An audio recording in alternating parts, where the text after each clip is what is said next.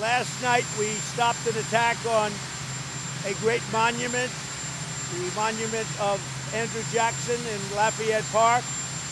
And I just want to thank law enforcement. They did a great job. We were working very closely with the White House Secret Service and some of our executives. It was really, they did a great job. They stopped the call. Uh, numerous people are in jail and going to jail today.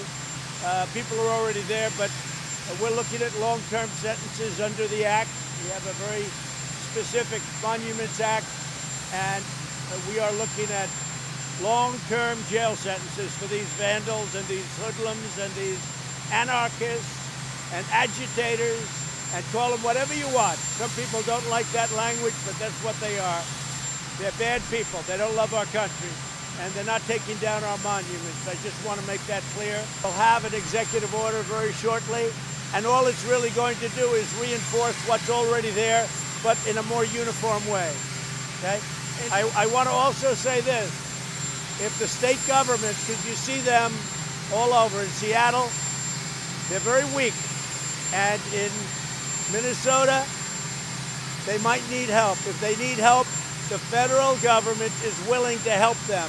If these hoodlums come around, these are not protesters, by the way. These are uh, these are anarchists and other things.